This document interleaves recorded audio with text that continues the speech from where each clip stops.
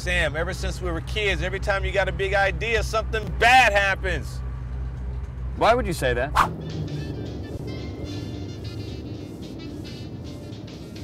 What's up, Marvin? Really, Sam? A one-legged boy? Such a good idea, too.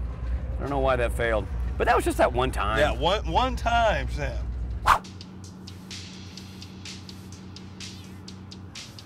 What's up, Marvin? And I got such a good deal on those, too. Genuine Rolex? That's right. You're very genuine. I still got mine. Guys, it hasn't working been all bad. You know, we just, we're ahead of our time. What up, Marvin?